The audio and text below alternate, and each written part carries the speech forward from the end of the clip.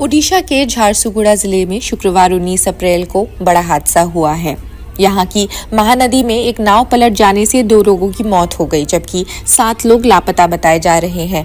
लापता लोगों को खोजने के लिए गोताखोर और एसडीआरएफ टीमें जुटी हुई है। ये घटना तब हुई जब नाव लगभग 50 यात्रियों को लेकर पाथरसेनी कूडा से बरगढ़ ज़िले के बंजीपल्ली जा रही थी।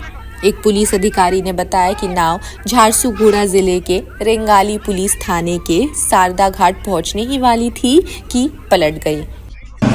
अभी की स्थिति में एक आ, महिला की शव बरामद हुआ है वो लगभग पैंतीस वर्ष की महिला है। जिला प्रशासन और उड़ीसा साइड से पूरा सहयोग मिल रहा है। यहाँ की कलेक्टर और एसपी और आईजी साहब सभी मुस्तैद हैं।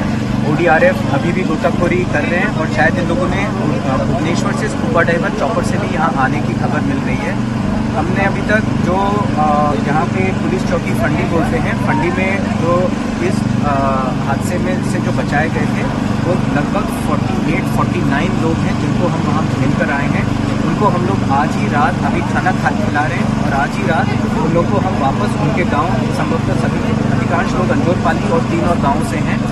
आधिकारिक सूत्रों से बताया गया कि यात्री पड़ोसी राज्य छत्तीसगढ़ के खारसानी इलाके के थे और ओडिशा के बरगढ़ ज़िले के अम्बाभोनी ब्लॉक के पाथरसेनी जा रहे थे।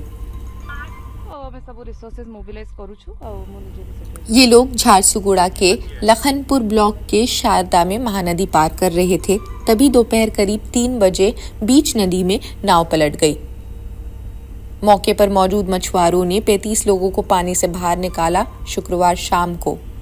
जानकारी मिलने पर मौके पर पहुँची पुलिस और फायर ब्रिगेड की टीम्स ने सात और लोगों को रेस्क्यू कर लिया। रेस्क्यू टीम्स ने बताया कि शनिवार सुबह तक करीब 48 लोगों को बचाया जा चुका है। एक महिला की डेड बॉडी भी रिकवर हो चुकी है। ओडिशा सरकार ने इसके बाद हादसे में मरने वालों के परिजनों के लिए चार लाख रुपए का मुआवजा घोषित किया। राज्य के सीएम नवीन पटनायक ने घटना पर दुख जताया।